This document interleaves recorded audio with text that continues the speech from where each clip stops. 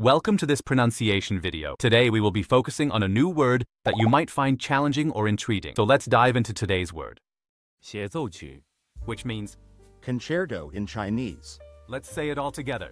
协奏曲，协奏曲，协奏曲， One more time.